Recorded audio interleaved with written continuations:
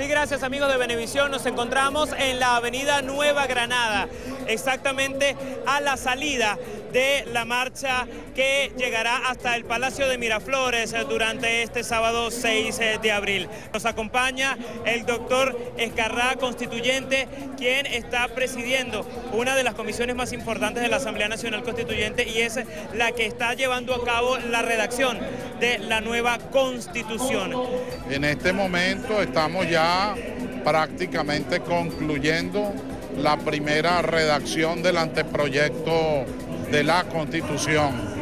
Yo creo que como después de abril, finales de abril, principios de mayo, se estará entregando a la Junta Directiva Nacional.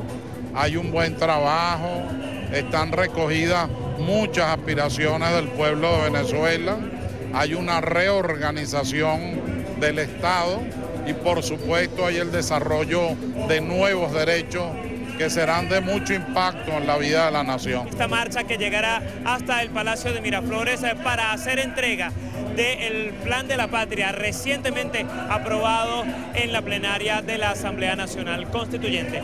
Continúen en nuestra sintonía que les seguiremos llevando más información de lo que acontezca en las calles de Caracas durante este sábado 6 de abril.